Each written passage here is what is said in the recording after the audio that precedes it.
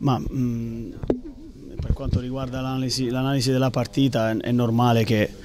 e se uno pensa di venire qua a Castellammare contro la miglior difesa del campionato e cercare di creare 20 palle gol, questo lo sapevamo anche noi. È normale che avevamo preparato tutto per andare ad isolare Nzola, andare ad isolare Ferretti sull'uno contro uno, ci siamo anche riusciti con questi cambi gioco veloci, però è, è normalissimo faticare, è normalissimo avere anche qualche, qualche difficoltà e ripeto, per me fino, fino, al primo gol loro la partita si stava un po' addormentando, l'avevamo in pugno e commettere un errore in mezzo al campo così banale, così in maniera superficiale, non te lo puoi permettere contro questi avversari, chiaramente ti hanno castigato.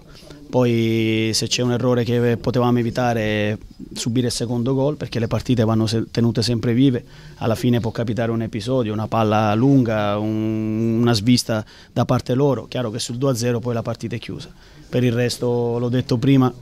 in altre situazioni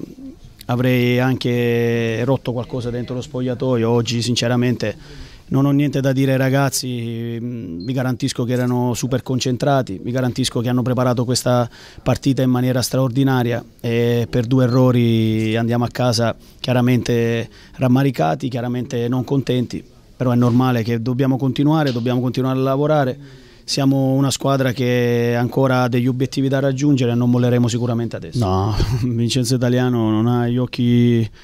addosso da parte di nessuno. Vincenzo Italiano deve pensare a lavorare giorno dopo giorno perché eh, fa parte di una squadra formata di un gruppo di uomini, di uomini veri. A me, guardate, dispiace tantissimo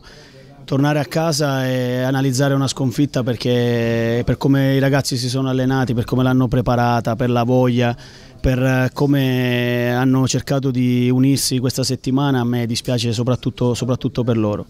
Io penso a, a cercare di far crescere questa squadra giorno dopo giorno, io personalmente ho ancora tanto da dimostrare e da fare e l'obiettivo personale di squadra per quanto riguarda me e il Trapani in questo momento qua è prima di tutto continuare a ottenere risultati da qui alla fine, blindare quei obiettivi che abbiamo da blindare, lavorare per cercare di ottenere sempre il massimo e chiaramente se dovesse svanire il sogno primo posto c'è poi da affrontare i playoff perché chiaramente siamo dentro i playoff e onorare qualsiasi tipo di obiettivo. chiaramente lo sapete cosa penso, le partite ufficiali vanno sempre onorate, e dobbiamo cercare di ribaltare questo risultato di 1-0 dove all'andata